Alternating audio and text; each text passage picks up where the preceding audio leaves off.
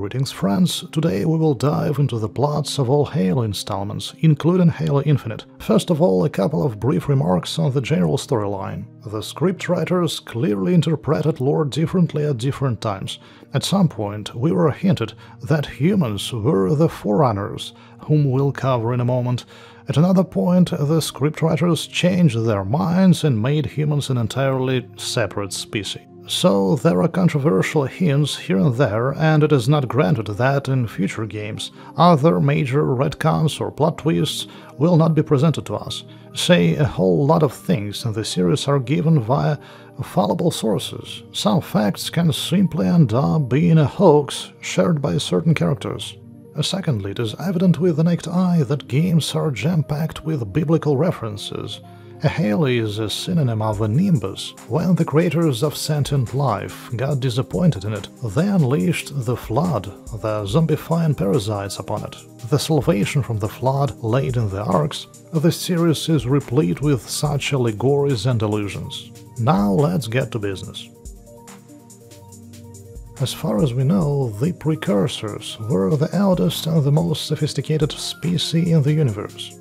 They were able to traverse between galaxies and accelerate the evolution of living beings, and they used these skills to forward the development of life to their liking.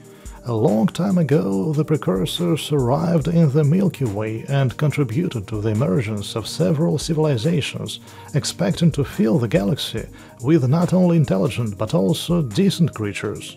It is hard to say for sure, though, what exactly was the precursors' goal, but among the species they created, there were humans and anthropomorphic creatures known to us as the Forerunners. In fact, one of those species was meant to be promoted by the precursors to the superior in the Milky Way.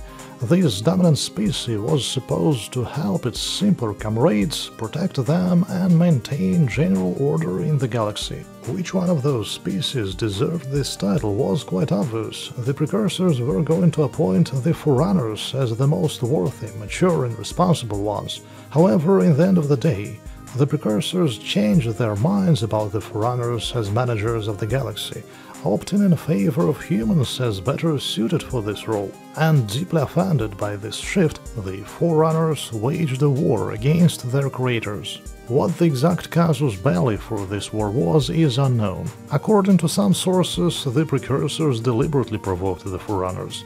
Others claim that there was no instigation and the latter just took the insult too personally. The indisputable fact is that the Forerunners declared war on the Precursors and, oddly enough, won. As one version tells, the Precursors posed no resistance, unwilling to hurt those whom they gave birth to. All these nuances are highly unreliable. What we know more or less definitely is that the precursors named humans the worthiest species, which caused the war between the precursors and the forerunners, and the latter almost completely wiped out the former. Those who survived, at least some of them, in fear for their lives, decayed into mold, crumbled into dust, to be reborn again sometime in the future, perhaps when times get better. This dust was supposed to form back into the bodies of the precursors. Years went by and the dust that the precursors dissolved into began to deteriorate and mutate. When the time to be revived had come, the precursors re-emerged not the way they had planned. Instead of the most developed species in the universe, some monster creatures, even by the standards of giant space bugs, reappeared from the dust. And these new evil mutated precursors set out to take revenge and ensure that no one opposed them ever again. They decided to send some of their mutagenic dust, known as the Flood, to the Milky Way, where we, humans, the Forerunners, and all our neighbors reside. The idea is that upon contracting the dust, living beings turn into zombies driven by an instinct to infect and consume everyone around them. As they consume each other, they grow larger until they reach the final point, the Gravemind, a gigantic cast of flesh that serves as a hub for the collective mind of the Flood. At some point, humans, when investigating planets on the frontier of the Milky Way, stumble across the ruins of spacecrafts that were sent there by their predecessors. On board of these vessels, they find an unknown powder and take it for research. They cannot find anything special in this powder, and the only notable feature they discover is that it has a good impact on Feru, animals which are kept as pets by some species in the Milky Way. Feru were used as guinea pigs for testing the powder. It made them more obedient, so breeders implement this substance in animal husbandry. As generations of Feru on whose ancestors the powder was tested change, they begin to sprout tentacles and devour each other. Eventually, the disease is transmitted to humans, and entire planets become plunged into a zombie apocalypse. Humans are losing planets one by one and turn to extreme measures. They start to preemptively annihilate planets with signs of the flood infection. When the pandemic reaches the planets of the Forerunners, humans wipe those out as well. The Forerunners have no idea of what's going on. They believe the pandemic to be the fiction of the Earth government to use as an excuse when assaulting other planets. This marks the beginning of the war between humankind and the Forerunners. In general, humans managed to withstand the heat quite successfully, fighting off the Forerunners on one front and the Flood on another. In fact, the flood, controlled by the Grave Mind, retreated for some time to let people and the Forerunners battle each other, although it looked like the parasites were kicked away. Despite this seeming success, humans exhausted their capabilities, fighting on two fronts at once, and eventually were defeated. The Forerunners drove all the surviving people to Earth and took away all technologies from them, plunging humankind into the pre-industrial era. They also eradicated all signs of human activity everywhere in the galaxy except for Earth. While humanity was still reinventing the wheel many years after, the Flood came back to be faced by the only remaining ruler of the galaxy, the Forerunners. They had long forgotten how to fight because all their enemies were defeated and they experienced no domestic struggles whatsoever. Given that the Flood is essentially invincible, the Forerunners fail to pose any opposition to cosmic vermin and realize that they're doomed. The approach of humans scorching entire planets and babbling about parasites instantly ceases to be seen as a pointless act of aggression. Having exhausted all other options, the Forerunners constructed the Halo Array, or the Halos, a network of space stations with weapons of mass destruction that are capable of exterminating all sentient life in the Milky Way with a powerful signal of galactic scale. These halos are also referred to as installations, and if they do their thing, everyone in the Milky Way will perish except for those who will be hidden at the halos and in the Arks, another type of massive space stations protected from the array's beams. The idea was to handpick various species of living beings to preserve life in the galaxy, activate the halos, sterilize the Milky Way, and leave the flood with no food. When the parasites starve to death, the galaxy is to be repopulated with those who seek the purge out in the Arks and at the halos everything proceeds as planned. The flood has seemingly been defeated, died of starvation, the survivors have been returned to their home planets, and the Forerunners, feeling guilty of this whole mess for ignoring humans, failing to cope with vermin and purging the galaxy, go into voluntary exile, leaving humankind in charge. The logic is, if the Forerunners couldn't save the galaxy from the apocalypse, maybe humans will succeed next time when it comes, and it will definitely come again. To boost technological progress of those who survived, the Forerunners implant certain marks into human DNA to facilitate their instinctive ability to handle the know-how of the Forerunners without prior preparation. The Forerunners left behind a bunch of artifacts in the Milky Way, and if humans locate them, they will be able to understand easily how to use those. As the years go by, humans are developing at a rapid pace. They re-explore outer space, yet only within the boundaries of the solar system.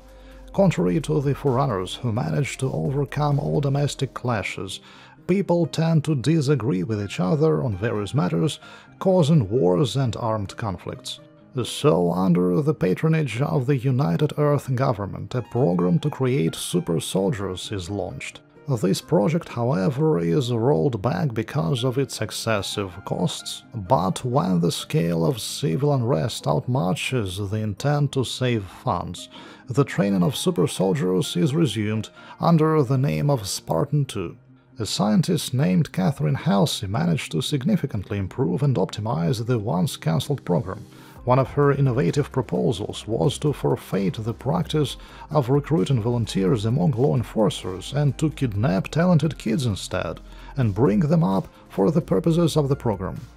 She is given a grant to abduct 75 six-year-old boys and girls from their families. Among them is John, more commonly known as John 117, the key figure of the franchise and the protagonist of most games in the series.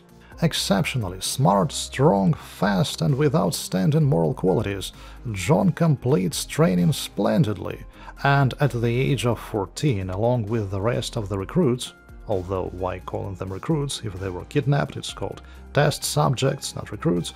Anyways, altogether, they undergo body modification treatment. They are injected with some drugs and implanted with augmentations. Half of the test subjects perish while the survivors become Witchers. Kidding, the Grey Wardens. In addition, Catherine Halsey makes a digital copy of her brain, creating an artificial intelligent entity named Cortana. Most likely you are familiar with her if you're using Windows. Meanwhile, somewhere in the galaxy, far away from our system, a new theocratic and militaristic alliance of species known as the Covenant Empire emerges, based upon worshipping the Forerunners as gods. The Covenant misinterpreted a message left by the Forerunners after resetting the galaxy, saying that they activated the Halos and left into exile, allowing the survivors to reclaim the Milky Way. The Covenant decided that the Forerunners activated the array and thus somehow ascended to a divine state, unlike all other unworthy species that didn't ascend and were left swarming in the Milky Way, while the Covenant mistook exile for ascension. Guided by this misinterpretation, they aim to repeat the route of the Forerunners to ascend as well and trigger the Halos to do so.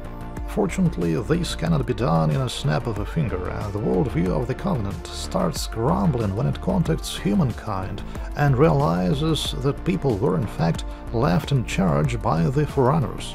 Perceiving this fact as a threat to their religion and their standing in it, and unwilling to kneel to humans and reject the initial plan, the Covenant declares war on humankind, hoping to wipe our species off the face of the Milky Way, together with all discrepancies and contradictions brought to the Covenant religion by their encounter with humans. No people, no contradictions. Luckily, the Spartans are fighting alongside humankind. And before we move on from the background to the main storyline, I'd like to note that the lore of Halo shares similarities with a bunch of different games. The plot based on a contagious powder and a planned rebirth reminds of Drakengard and NieR Replicant. A process of making super soldiers, as I have said already, resembles both The Witcher and Dragon Age, nullifying sentient life for the sake of a higher purpose as well as giant space rings left by a great civilization of the past and the general visual style are common for both Halo and Mass Effect, the Flood and the Gravemind are evidently similar to Necromorphs and the Brethren Moons from Dead Space. Some of these was taken by Halo, some of these from Halo, and some features might be purely coincidental, but in summary, the confluence between Halo and a range of other franchises is rather great. We will talk about installments of the series not in release order, but according to a chronological sequence of their events. Halo Wars was the fourth game, but in terms of the storyline it was the first, and contrary to most other Halo games, it is a strategy game. Mankind has been at war with the Covenant for six years now, and the crew of the military vessel Spirit of Fire fights alongside humans. Cutter is the captain of the ship, Sergeant Forge is responsible for the use of force and Professor Anders for scientific affairs. Together we roam across the galaxy already reclaimed by the human race. On one of the planets, the crew of the Spirit of Fire investigates suspicious activity of Covenant troops who were prowling there. We find out that they located an ancient structure of the Forerunners, and we kick foes away. This structure, in fact, turns out to be a sophisticated map pointing to some human planet. We suppose that if the Covenant found this map and saw the marking, the planet is highly likely to be their destination, so we follow them. And indeed we meet belligerent aliens who have dug up in Forerunner ruins and are building a giant combat mechanical beetle there, hiding behind an energy shield. These ruins seem to be of use to them. We play as Forge, with intelligence of hunters, the support of Spartan's squad, and experimental weaponry, we blast the shield and the beetle. And when absolutely nothing portends trouble, the Arbiter, Commander-in-Chief of the Covenant, abducts Anders right under our nose and teleports her to his vessel, so we rush in pursuit. We arrive at an unknown planet that serves as a shelter from Halo beams. The entire planet turns out to be a protective shell, once built by the Forerunners, containing both their technologies from pre-apocalyptic times, which is good, and the Flood, which is bad. The Covenant discovered that this hideout was full of Forerunner warships and aimed to grab them. However, the Forerunner tech cannot be activated just like that, it is protected from such cases.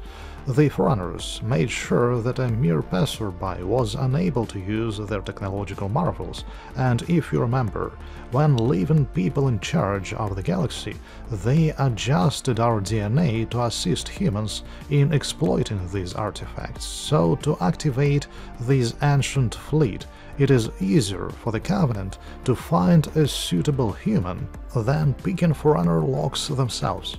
Any person apparently is unfit for this task, but Professor Anders, for example, is quite fit, so the Covenant kidnaps her to unlock the arsenal for them.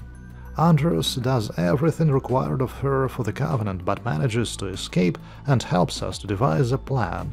We opt for blowing up the translight engine of our ship next to the planet's artificial sun, which will cause a chain reaction, razing everything in the vicinity the Flood, the Covenant, the warships, the protective shell to the ground. Losing Forerunner warships is sad, but preventing them from falling into the wrong hands is paramount. The Covenant, of course, disagrees with our intent and attacks us. Together with the Spartans, we fight back, and Sergeant Forge defeats the Arbiter. The engine of the Spirit of Fire, however, takes damage, so it cannot be detonated from afar. This should be done at the spot, and now someone has to stay on the surface and trigger the explosion, sacrificing his life and annihilating everything around. Forge volunteers and no one objects. When the crew, including Cutter and Anders, flies to a safe distance, Forge blows up the planet and surely dies. The major threat is now gone, but there are 12 more games remaining, each with its own major threat. Anyway, for now we have stopped the Covenant from getting the ancient fleet of the Forerunners. With no faster-than-light or FTL engine, however, space sleeps are not an option, so the crew falls into cryo-sleep until better times come.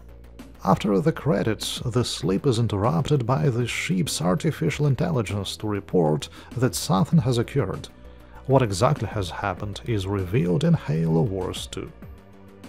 In Halo Reach, we play as a Spartan called Noble 6, and it's finally a first-person shooter.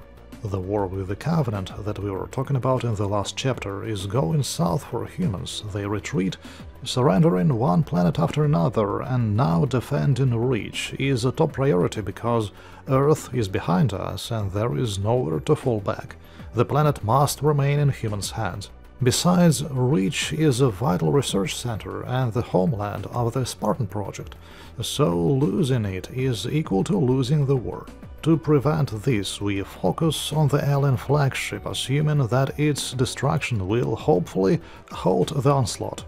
We aren't fighting on our own and among our brothers in arms, Kat, George, Carter and Emil deserve the most attention. Our battle comrade Kat suggests a plan, blasting the FTL engine aboard the flagship. Apparently, this is a default way of solving problems in this series.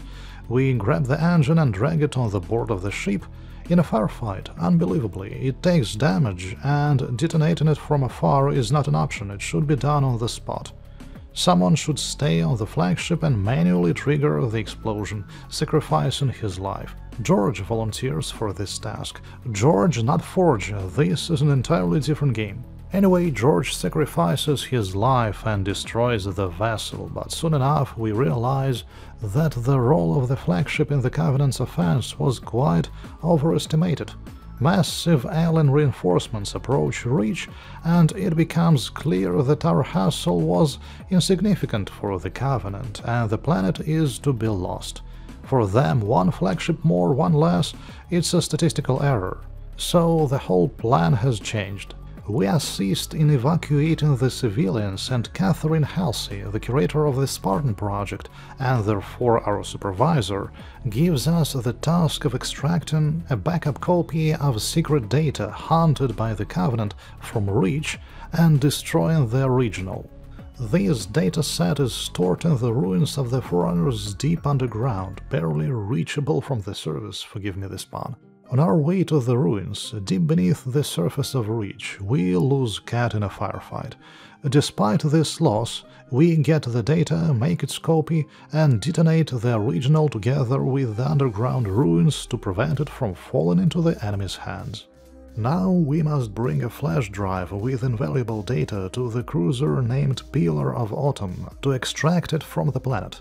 Our way gets blocked by a huge mechanical beetle and Carter, the pilot, Noble's comrade, sacrifices his life by crashing his shuttle into the giant robot so we can move on. We deliver the flash drive, which is taken away by the Pillar of Autumn away from Reach, and together with Emil we stay to cover the cruiser from the ground. We both perish, first Emil, then us, Noble 6. Reach is captured by the aliens, although the flash drive reaches the right place, and 30 years later, our correct helmet is still lying on the battlefield. Off-screen, Catherine Halsey commands Noble Six and his squad for their deed. Among the classified data that the Covenant was after and that we heroically extracted, there were the coordinates of Halo, and this alone was the turning point in the war with the aliens. Why it was so significant and what happened after, we will uncover very soon in the next chapter. This game was the first to be released and in fact it started the whole series.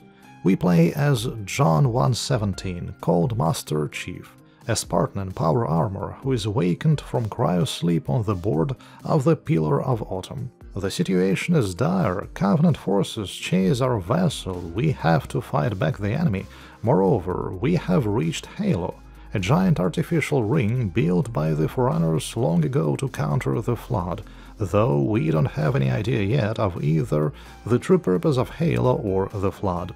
The Covenant, that, as we remember, desires to activate the Halos most of all, boards our vessel, the Pillar of Autumn. The cruiser gets hit, and the High Command orders us to evacuate, handing our protagonist the flash drive from the previous chapter, which also contains Cortana, artificial intelligence with a habit of giving away useful hints. Along with other crew members, we land on the surface of Halo that looks just like Earth at close range, and decide to scout and take it under control, unaware of what Halo is. Searching for some ancient superweapon, our comrades investigate a vault and indeed find the superweapon, the Flood, a parasitic species that the Halos were built to eradicate. The Forerunners who constructed these rings also stored some Flood specimen to research them later. They had sterilized the entire galaxy and sacrificed almost all sentient life in the Milky Way to get rid of the Flood, starved to death, but chose to keep some Flood alive just in case. Flood management at its best. As soon as the doors to the vault open, the Flood of course starts its killing spree, shredding everyone, consuming bodies, mutating and spreading. it absorbs our captain too. Halo's AI, and yes, this structure has its own artificial intelligence, claims that it knows how to defeat the Flood. It is like, yeah, I can do this, bring me the activation key, it should be nearby, and I'll solve the problem. And while we look for the key, Cortana taps into Halo's systems to get a better look at the facility. We find the key and come back to the AI that tasked us with this errand. By this moment, Cortana has finished studying Halo. As she reports its true purpose to us. The Halos annihilate the Flood by wiping out all life in the galaxy. We ask Halo's AI does it actually want to sterilize both the Milky Way and the Flood, and yep, it replies, come on, give me the key. Instead, we decide to hold the key to ourselves and destroy Halo together with the Flood. How? By blasting the FTL engine of our ship, of course. However, this step requires a neurochip implanted in the vessel's captain, Thus, we infiltrate Covenant starship infested with the Flood, locate the remnants of the captain, tear out the chip from his head, detonate the engine, and escape on a shuttle a second before Halo falls apart from the explosion.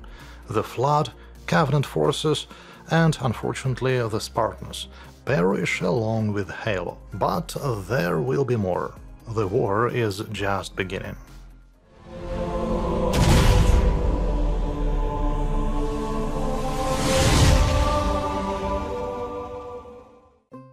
This game was made for arcade machines, so most of you, I suppose, have never heard of it. Nevertheless, the publisher confirmed that its storyline is canonical. The whole campaign can be completed in 45 minutes, and besides, the events of Fireteam Raven take place simultaneously with the first installment, Combat Evolved, so as we already know what happened there, covering this chapter won't take much time. The game allows up to 4 players. Together with Master Chief, we approach Halo on the board of the Pillar of Autumn, fight off the Covenant and land on Halo. We continue our offense on its surface and when the Flood breaks free, we intercept it and draw enemy's fire to assist Master Chief. After that, it's his time to cover us when the Flood reaches our positions. In the finale, we fend off both the Covenant and the Flood so they don't interfere with Master Chief from blowing up the Halo. Eventually, together with those who didn't manage to evacuate, we perish in the explosion. Let's dive into the story of Halo 2 with a bit more detail on the hierarchy of the Covenant. As you know, this is a theocratic alliance of several alien species, but their proportions within this entity are uneven. Three hierarchs reign over the Covenant, the High Prophets of Truth, Regret, and Mercy. All of them belong to an extremely rare species of the San'Shyuum. Next, in terms of status, are the Sangheili, known to humans as elites, and we will call them the same to not mistake the Sangheili for the San'Shyuum. Elites are a caste of warriors. They're responsible for the safety of the hierarchs. Among all other species, which are plenty, let's also mention the Jiralhanae, also known as brutes. They are warriors as well, but with a drastic imbalance towards the physical state. They are bigger, stronger, and dumber than elites. The game begins with someone's career ending. A high-ranked elite who commanded the Covenant on the Halo in Halo Evolved is punished for a complete failure. He gets a literal stigma, a demotion, and a promise to be left behind when Ascension comes. On the contrary, Master Chief is commanded by people. The reward also goes to Sergeant Avery Johnson, who, due to a rare health condition, was immune to the mutagenic effects of the Flood and managed to evacuate from Halo. The deceased captain of the Pillar of Autumn receives a medal posthumously. His daughter, Miranda Keyes, accepts the award on his behalf. Miranda deserves her own share of attention in this story. She is the captain of the vessel in Amber Clad, a peculiar name indeed, but the game is larded with peculiar titles and names. Miranda is the daughter of the deceased captain and Catherine Halsey, a familiar character who stood at the region of the Spartan program. The ceremony, which takes place in the metropolis of New Mombasa, Kenya, hasn't even finished yet when the Covenant fleet, led by the Prophet of Regret, launches an offense on Earth. Humans, including us, Master Chief, repel the onslaught. The Prophet of Regret realizes his misjudgment and retreats through a portal. We, Master Chief, Johnson, Cortana, and Miranda, pursue him aboard the In Amber clad and manage to dive in the same portal to hopefully catch the Prophet and deal with him. At the same time, during the portal leap, the alien ship emits a huge mass of energy and destroys New Mombasa. While the Prophet of Regret is at war, the two remaining hierarchs, Truth and Mercy, offer the guilty elite a deal to take a position of the Arbiter for a chance to atone for his fiasco. What's the catch, you would think? I wouldn't mind an offer like this. Well, the point is that it is an extremely honorable military rank, but it's always associated with suicidal missions. Arbiters are very cost-effective fighters for the Supreme Command, as they rarely survive to receive their first paycheck. The elite is fully aware of this and still agrees. He becomes the new Arbiter and the second protagonist or deuteragonist of the installment. In Halo 2 we play as both Master Chief and the Arbiter.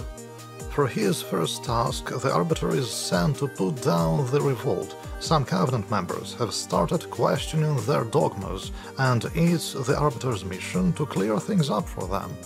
The leader of the resistance is accompanied by Halo's AI from Combat Evolved, called Guilty Spark, speaking of strange names.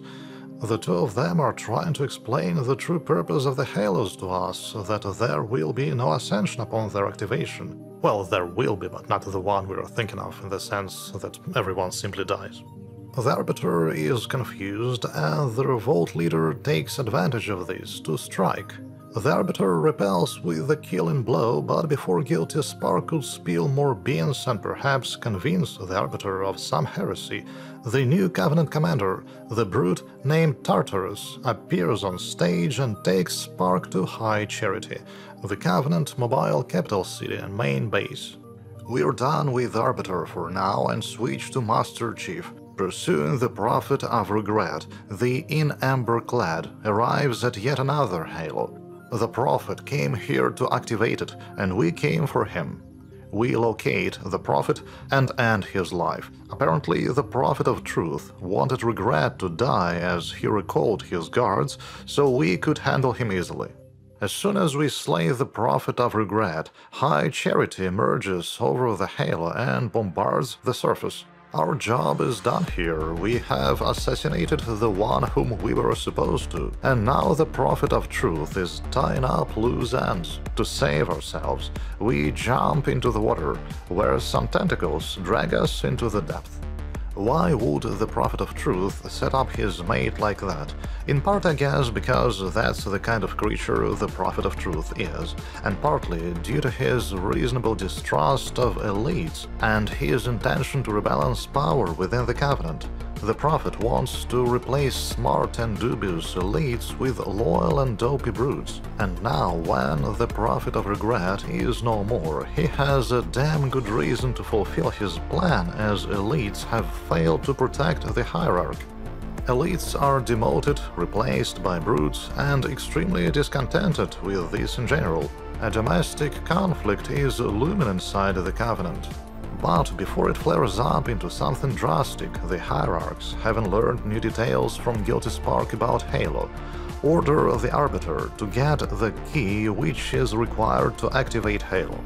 This Halo contains the Flood as well. Unlike the previous Halo, where the Flood was locked tight in the vault, here it escaped from containment and is already rampant, even without the human's aid. And even so, despite the Flood, the Arbiter finds the key, only to watch it being snatched by Keyes and Johnson, Chief's bodies. It doesn't matter much anyways, as Tartarus appears once again, grabbing the key, Johnson and Keyes. Tartarus announces that the hierarchs have issued a kill order on the Arbiter and throws him into the Abyss, which for some reason is located in the same room as the activation key. As for me, if there is one very important key that determines the fate of living beings in the galaxy, and in no case should be dropped into a bottomless pit barely possible to get from, then storing this precious item in the same room with this abyss is a splendid way to spice up your workday. In the pit, the Arbiter gets caught by tentacles, just like Master Chief, so both of them are now in captivity by a familiar creature, the Gravemind, the brain of the Flood. The Gravemind turns out to be quite mindful. It finally reveals the truth to the Arbiter about the Halos and, quote-unquote, the ascension of the Forerunners. The Gravemind admits that indeed there are tensions between the Flood and other species, but should the Prophets activate their ray, then everyone will be gone. So it proposes to join efforts in finding the key to the Halo and teleports Master Chief to High Charity, the Covenant's headquarters, while the Arbiter gets a free ride to the Halo. High Charity is engulfed in civil war. The Covenant started the genocide of elites considering their faith not blind enough and being afraid of treason and heresy about the purpose of the Halos. The elites, along with other sympathizing species, secede from the Covenant and we join our firepower against a common foe. While Keyes and Johnson are in captivity and we are occupied with decimating the alien population, the frigate in amber clad is left unattended and taken over by the flood. The grave Gravemind directs it straight towards High Charity. The flood rams the Covenant base, thus boarding it and spreading through. The two remaining prophets, Mercy and Truth, flee but suffer losses. The flood parasite dashes onto the Prophet of Mercy and Truth orders guards to stay away. The Prophet of Truth has already eliminated regret and without mercy he will remain the sole ruler of the Covenant. While chasing the hierarchs, Master Chief stumbles upon the half-dead Prophet of Mercy, and he reveals that Truth is going to board the Covenant's Forerunner vessel and invade Earth. Cortana suggests a plan. We board another Forerunner ship and rush after the Prophet, while she stays aboard High Charity, rammed by the in amber clad. If the Covenant succeeds in activating the Halo, she will do her best to destroy it, by, you'd never guess it, blowing up the FTL engine of the in Amberclad. In the meantime, the Arbiter meets Johnson and the Renegade elites, and altogether they chase Tartarus, who is ready to activate Halo using keys. First, they try a diplomatic approach by explaining that Covenant religion is faulty, but the hierarchs relied on brutes for a reason. Tartarus refuses to question the dogmas and activates Halo. He inserts the key and slams Keyes, a bearer of the appropriate DNA, in some scanner that reads her genetic code and confirms, yes, this is a suitable human, her commands can be trusted, charge up the array. The Arbiter shoots Tartarus dead, Keyes pulls out the key before Halo makes its first salvo, and the installation does calm down a bit, but not completely. Turning on and off immediately is recognized as a suspicious event and following the security protocol, the array orders all other Halos in the galaxy to stand by on high alert. Now they can all be remotely activated at once from the Ark, whatever it is. The Arbiter asks Guilty Spark on the whereabouts of this Ark. Master Chief on the Forerunner ship is pursuing the Prophet who is approaching Earth for an attack. Meanwhile, at High Charity, consumed by the Flood, Cortana meets the Gravemind. It has some questions for Cortana and she agrees to answer them. This installment is actually an add-on to Halo 3, but its events take place at the same time as Halo 2, when the Prophet of Regret assaults New Mombasa. We play as a marine called the Rookie, a member of the elite Orbital Drop Shock Troopers, or ODST for short. Right before the landing, we are suddenly introduced to Veronica Dare, the operation commander. She has a secret task for which our assistance is required, but as it is secret, even we don't know anything of it yet. We're deployed on Earth at the very moment when the retreating cruiser of regret teleports away, creating a massive blast that obliterates the city. The electronics in our drop pod shuts down, we perform a hard landing and pass out. Six hours later, we regain consciousness. Ruins of the city lay ahead of us, and here and there we find objects and traces of other members of our unit. Upon locating these items, the game switches to their owners to explain what happened to them while the rookie was unconscious. Then we regain control of the protagonist, that is, the rookie, and after finding more traces, the narrative jumps to a new character again and it goes on. These smaller stories are quite interesting, although they are insignificant to the main plot. What's more important is that eventually we receive a distress call from Dare and find her in some underground facility. And there she finally tells us about her true mission to get the data of the artificial intelligence managing the city and deliver it to a safer place. Together, we reach the room with AI and meet the Huragok creature there, a biomechanical supercomputer of the Forerunners. The Huragok were forcibly merged with the Covenant, they aren't fond of the Empire at all, and now one of Huragok, known to humans as engineers, is right in front of us. It has absorbed all data from the critically damaged AI we're looking for, trying to help it. Besides, this Huragok knows quite a lot about the Covenant, as well as what they were doing in New Mombasa, why they chose this very city. So our new task is to evacuate the Huragok that is willing to help our cause against the Covenant from the battlefield. In the endgame, we reunite with the rest of the unit and leave the city. Among the data stored by the Huragok, there is information on the artifact beneath New Mombasa that opens a portal straight to the Ark, the one from which all halos can be activated at once, as the finale of ODST is synchronous with the finale of Halo 2. The game ends with the Covenant, this time led by the Prophet of Truth, not Regret, attempting to breach a hole in the city's surface to get to the artifact. Master Chief arrives at Earth, the Prophet of Truth excavates the artifact and activates the portal to the Ark. The ship, controlled by the Gravemind and swarming with parasites, crashes in New Mombasa, so the flood spreads across the city. What a dashing start! Our new allies, the Renegade Elites, successfully handle the flood on Earth, so we don't have to worry about that at least. Moreover, the arrival of the flood plays into our hands because the vessel on which it crashed contained a message from Cortana, who is kept hostage by the Gravemind. In this message, Cortana advises us to follow the Prophet of Truth through a portal where, as she suggests, we will find a way to crush our foes. Therefore, we, meaning Master Chief, Johnson, Keyes, the Arbiter, Guilty Spark, and some unknown extras, fly into the portal and locate the Ark on the other side, which, to say, is far beyond the Milky Way. The Covenant is already in full swing there, although they cannot activate the Ark, because, as you remember, it takes a person with inherent capabilities of using the Forerunner technologies. The Covenant kidnaps Johnson to use as a live key. Keyes comes to the rescue, but the enemies are overwhelming, so she and Johnson decide that since they cannot escape alive, at least they should kill each other to prevent the Covenant from exploiting them to activate the Halos. Yet they fail to fulfill this plan as well.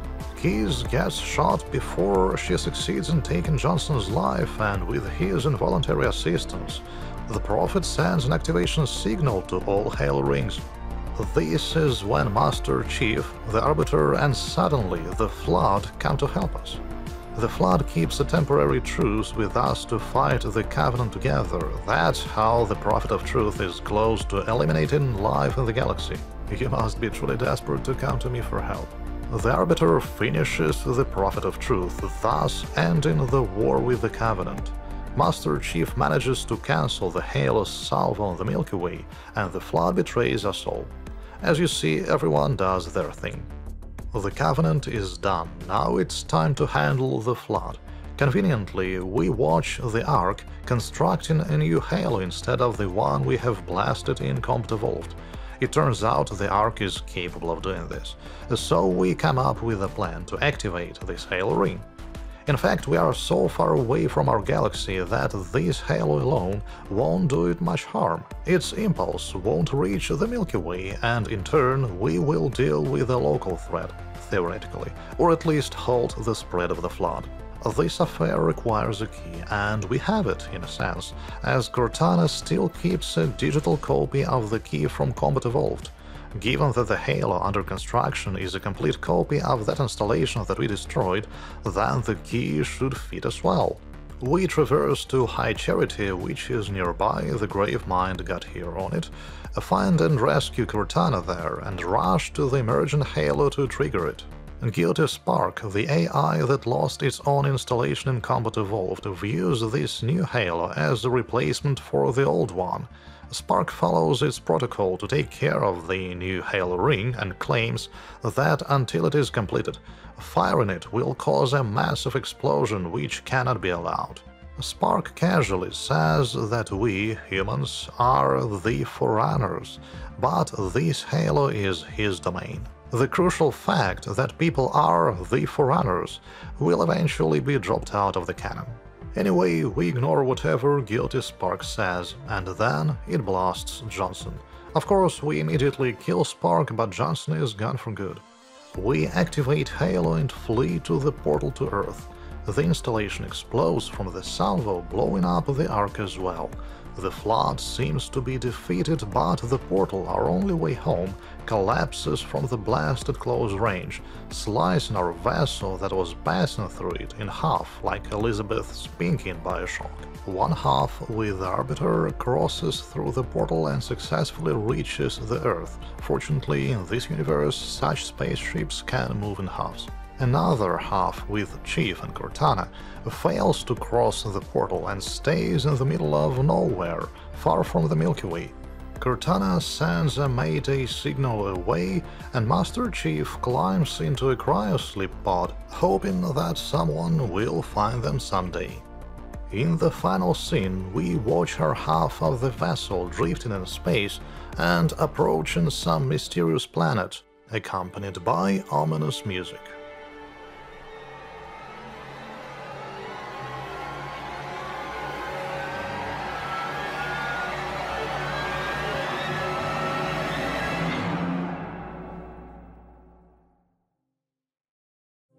This is an isometric shooter aimed at filling the plot void between the third and fourth installments. The war between humans and the Covenant is over, but not completely. Individual Covenant detachments refuse to surrender, and among them there's a unit of elites led by Merg Vol. In search of a Forerunner artifact, they invade one of the human planets and its moon. The moon turns out to be artificial, it is the very artifact, a Death Star capable of annihilating planets with a special beam. So troops of Merg instantly direct this beam at the planet around which the moon revolves. A human defense is conducted on two fronts. A Spartan named Sarah Palmer fends off elites on the planet, evacuating the civilians, while Edward Davis, another Spartan, takes the fight to the moon trying to shut it down. On the planet's surface, it quickly becomes evident that a complete evacuation lacks vessels, so Sarah Palmer with other forces hijacks Covenant ships for this purpose. In turn, Edward Davis reaches the core of the Death Star and turns it off. This saves the planet from total obliteration, although it has been damaged badly. Then Davis covers the civilians during the evacuation and meets his heroic demise. Palmer arrives to the moon and finishes Merg Vol off. She disables the Death Star completely, but after a while she gets a strange signal from its surface. Another Forerunner artifact appears to be its source, an artifact on an artifact. This new artifact has digitized a part of Edward's consciousness before his demise. His final emotions have been transferred to an ancient device. Palmer shuts it down as well so that Davis can rest in peace. This will make a bit more sense in the next game. The original trilogy was dedicated to the Human Covenant War, and it's over now, but the story of Chief goes on. For almost five years, he has been drifting in space in cryostasis on the Haft ship. Eventually, he approaches some strange planet covered in metal. It appears soon to be not a planet but another artifact of the Forerunners, just like everything in this series. Uh, speaking of this so-called planet, a long time ago, when the Forerunners were still dealing with the Flood and looking for salvation, multiple competing approaches to this problem were proposed. Along with the construction of the halos, it was also suggested to build special shielded planets where one could abstain from the outside calamity and sit out the flood. Most Forerunners were skeptical of this option and insisted on finishing the Halo array, whereas a Forerunner named the Didact, a bit nuts from all warfare, pressed others for creating these shield worlds, fortified military bases, and several such planets were built, although Didact's idea wasn't considered as the main one.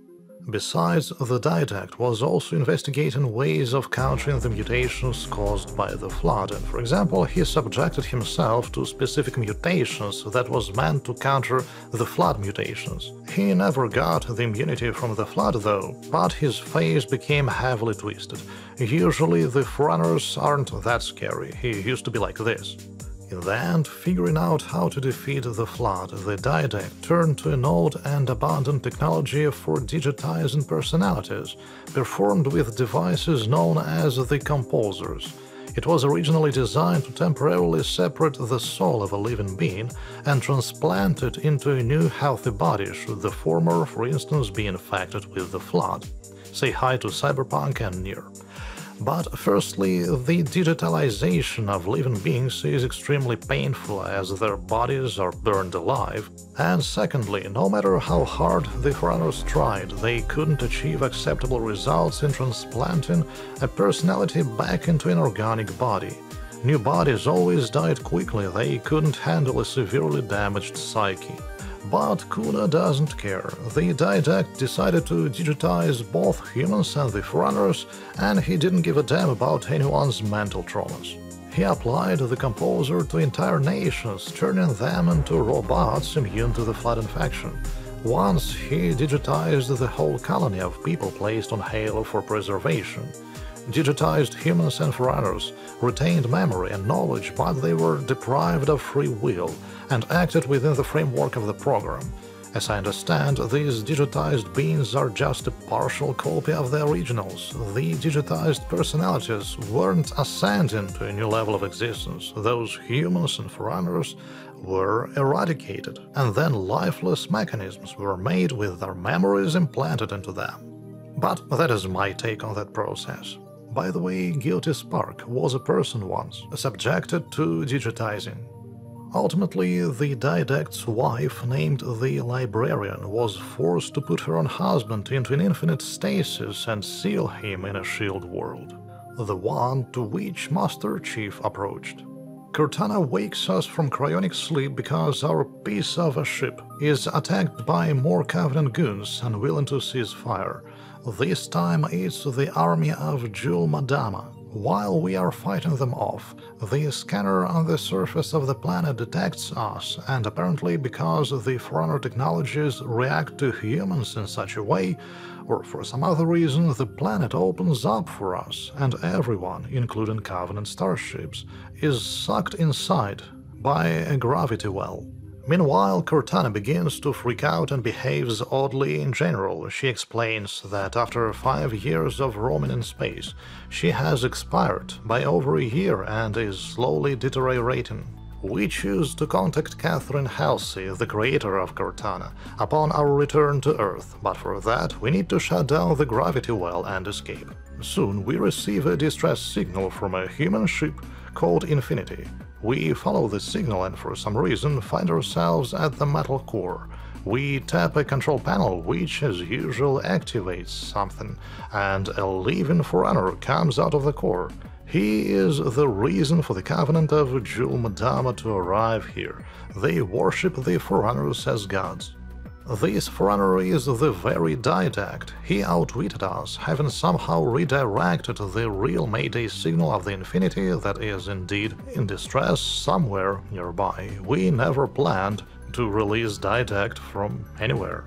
The Didact has very powerful telekinetic abilities. He tosses us aside and goes about his more important business, meaning to digitize all of humanity partly because it will summon for him an entire army of the Prometheans, the robots controlled by artificial intelligences of digitized people, and partly because he simply despises humans. The Didact is extremely condescending to all other species. In the future, we will attempt to thwart his plan on digitizing all of humanity, but for now, fending off both the Covenant of Jul 'Mdama and the Prometheans, we are going on a search for the Infinity. We locate the vessel and meet its crew, the captain named Del Rio, his second-in-command Thomas Lasky, the Spartan Sarah Palmer, whom we already know, and other extras. Then, in the following several clashes with the Didact, we feel our utter helplessness against his capabilities. On the bright side, though, we blast the gravity well. After that, we have a hard talk with Captain Del Rio. He demands that we hand over the defective Cortana for disposal and accompany him on his way to Earth to report the situation to the authorities. We want neither of those things. Cortana is dear to us as a personality, and flying away contradicts with our intent to stop the Didact, so we're quite busy here.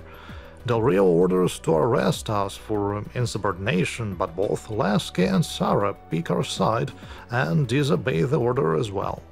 Del Rio has to accept it, and the Infinity sets course to Earth without us, leaving Master Chief and Cortana to our cause. Next, we are contacted by a digitized copy of the librarian, the ex-wife of the Didact. She is a decent lady, and she bestows us with immunity to digitization. That's quite handy, thanks a lot. Meanwhile, the Didact requires a composer, a device for digitizing living beings.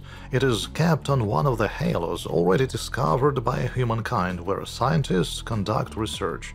The Didact arrives there, we follow him. Nonetheless, he outruns us and uses the composer on Halo's personnel. Scientists are splitting atoms before our eyes, yet we are doing fine, at least physically. I don't know what was going on in Chief's head, I suppose that all hell broke loose, same as with Doomguy. Thanks to the librarian though, we are still alive. After trying the composer on the scientists, the Didact is now on his way to digitize the dwellers of Arizona, and this is where we catch up with him. Thanks to the Infinity, now captained by Lasky, Del Rio was suspended when it was revealed how he treated us. We face the Didact once again, but this time Cortana engages too with the last of her power. Using some tricks up her sleeve, she summons material copies of herself and distracts the Didact. This gives us the necessary upper hand in a fight.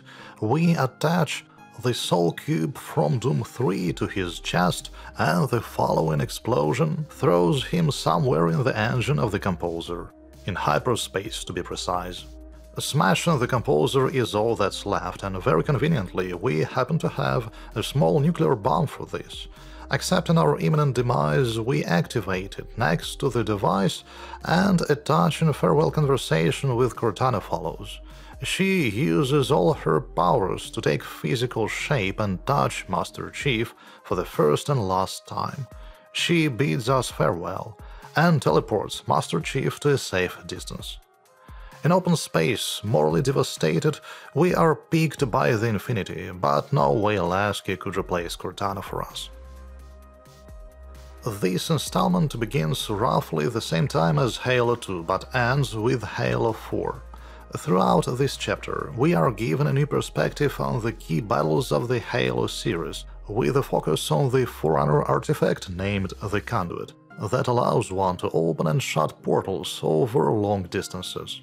We get to revisit three major clashes at New Mombasa, on Halo, where the Didact was looking for the composer, and on Earth in Arizona, where the Didact has managed to digitize 7 million people. First, we capture the conduit from the Covenant, but the entire squad perishes in the fall of New Mombasa when the Prophet teleports away. Then we take the trail of the conduit again and reclaim it from Jul 'Mdama. Eventually, we use this artifact in Arizona to close the portals and halt the Promethean offense on Earth. The storyline of the fifth chapter contains a tremendous volume of tinsel. It is overloaded with complications, of shoots, nuances, and notes in the margins that are unrelated directly to the core of the plot and can be omitted without any major impact, and this is exactly what I propose to do. It turns out that Cortana didn't die completely, the shards of her personality got into the so-called domain, a quantum repository of the precursors and then the forerunners. Let me remind you that these two are different species. Apparently, the domain is alive, it has self-consciousness and will, and it holds the knowledge of the world, accumulated from times immemorial, Besides, the domain can also store the emotions and feelings of all its users. As far as the Forerunners used it, even post-mortem, echoes of their personalities continue to exist in the domain, thus the Forerunners often perceived it as an afterlife. One more important feature of the domain is that it was constructed by the precursors according to the laws of neurophysics, which assumes the unity of all matter in the universe, thus the domain is somehow connected with everything. So Cortana, or rather what was left of her, settled in it. Her exploration issues seem to be resolved, but she is still not the Cortana we knew. It's either her shards that failed to unite into a single entity or some trauma linked to her death and revival or something else. Anyway, having merged with the domain, she decided that humans were unworthy to be the successors of the precursors and manage the universe. People wage wars against each other, drown in conflicts, behave unwisely, and it'll be best for everyone if the galaxy is managed by artificial intelligence, while humans obey without questions. And the violators of such an order can be eliminated after all sacrificing less for the greater good. The game hints that Cortana is impacted by the legacy of Catherine Halsey, whose brain was used as a basis for her. Catherine was the one to come up with the idea of kidnapping kids from their families and making Spartans out of them, for the greater good as well. Via some neurophysical links, Cortana contacts Master Chief and invites him to the planet Meridian for her. Master Chief accepts this invitation, while the authorities, this time represented by Captain Lasky, note that this was not their plan. However, it's not the first time for Chief to disobey the orders of the Captain of the Infinity, so he sets his course to Meridian. Against his protests, Chief's squad follows him without a second thought. All of them decided to support their commanding officer and, more importantly, a friend. The military command, in turn, puts Master Chief on the wanted list and sends a unit of 4th generation Spartans in pursuit. Contrary to the second generation, which Master Chief belongs to, the fourth one consisted of adult volunteers, not abducted children. The leader of the squad sent after Master Chief is named Jameson Locke. Locke catches up with Master Chief, Chief kicks his ass and carries on with his journey to Cortana. Her aides teleport Chief and his entire squad from Meridian to the Domain. This is where John 117 finally meets Cortana, whom he hasn't seen since the last installment. He disagrees with her vision, and Cortana, presumably unwilling to hurt him, puts Master Chief and his team into stasis and locks them in a metal egg, the same way as the Didact was locked once. Master Chief and his unit are rescued from egg imprisonment by Locke's detachment.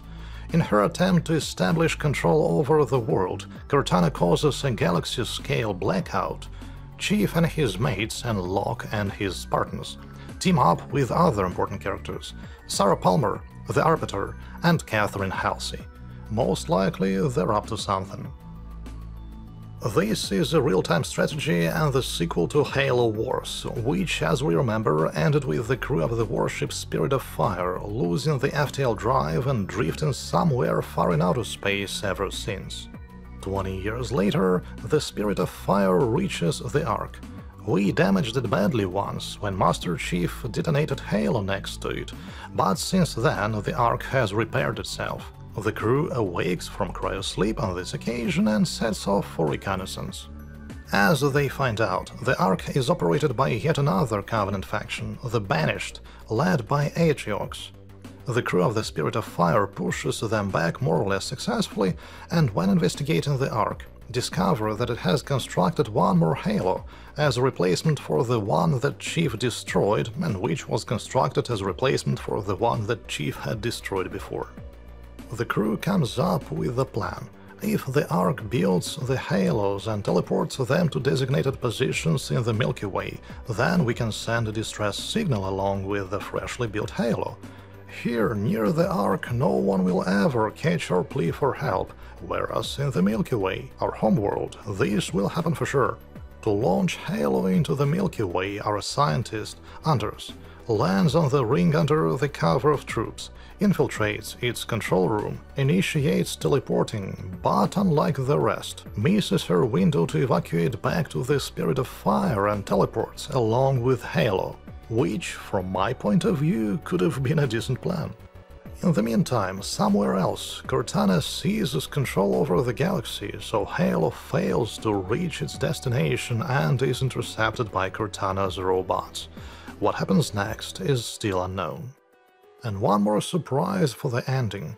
Atriox locates the Gravemind on the Ark, the leader of the Banished exterminates it, but this is a distinctive red flag as if you thought you had got rid of all cockroaches and unexpectedly noticed another one. Without preparation, the game tosses us right into the middle of the storyline and provides zero explanation on how the fifth part and Infinite are linked. It gives no proper introduction, leaving players perplexed. Only by the end of the campaign we are able to retroactively fill the void between this installment and the previous one on what happened and how we got here. Let us unravel this tangle of events.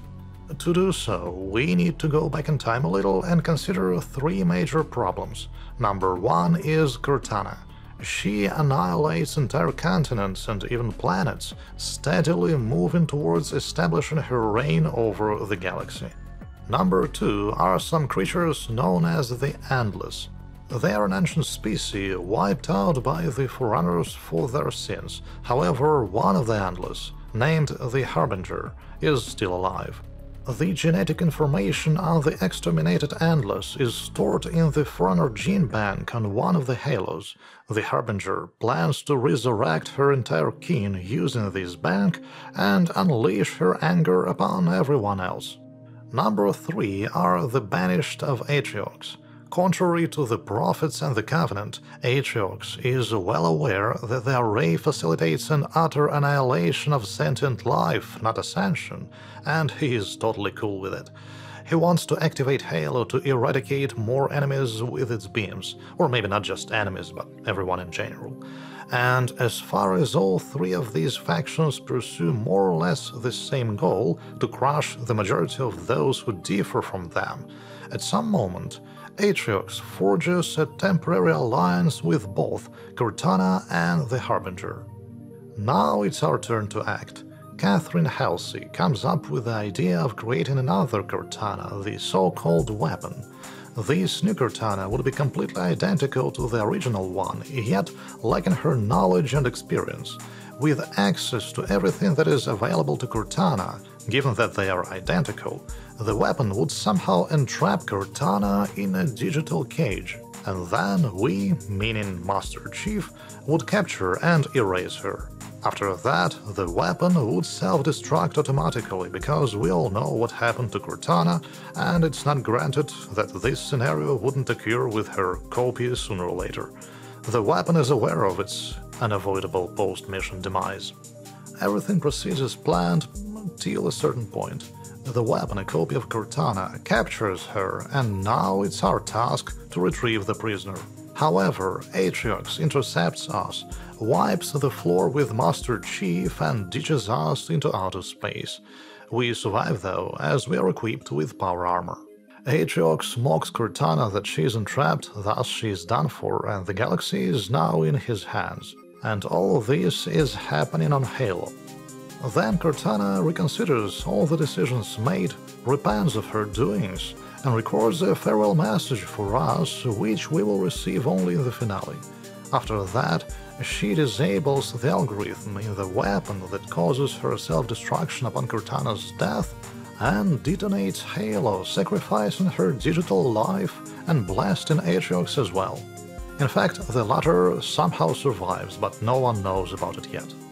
Halo initiates self-repair, the brute Escharum assumes the position of the seemingly deceased brute Atriox, and we are picked in outer space by a pilot named Fernando, who would rather come back home to a loving wife and child but is forced to save the world with us instead. This is where the actual game begins. The Banished and Cortana did a great job placing half of the galaxy on the verge of extinction.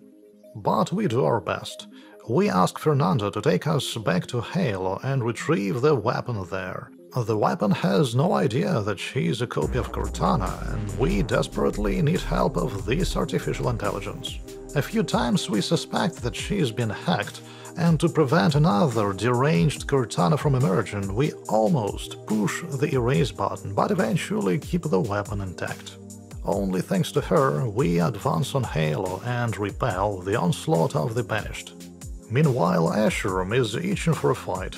He abducts Fernando to lure us out, and thanks to the weapon once again, we accept the call and face the brute in a showdown. It ends in our favor, Escharum is way weaker than Atriox. In the end, we use the weapon in a clash with the Harbinger, preventing her from resurrecting the rest of the Endless, which, according to Halo's AI, would have been worse than the Flood. At death's door, though, the Harbinger claims that the return of the Endless is inevitable, and we have achieved nothing. I tend to disagree with her, it may be a trifling victory, but a victory nonetheless. We listen to Cortana's message and learn that she repented of everything and sacrificed herself. We also realize that she deactivated self-destruction of the weapon so we could carry on saving the world with our copy. Finally, Cortana begs us not to repeat her mistakes. Fernando picks us up and we fly off into the sunset with the intent to put an end to this war and finish off the Headless Banished. The weapon asks Fernando what his name is. He replies and asks her in return. We are not shown her response, but apparently she said Cortana. After the credits, suddenly we see Atriox, who is alive and activates some artifact that causes the plates in the Forerunner gene bank to shift. Friends, thank you for watching. Please let me know in the comments below what you think about this storyline, the video, and Halo in general, or whatever. How was your day? I need comments, alright? Not bidding you farewell. See you soon.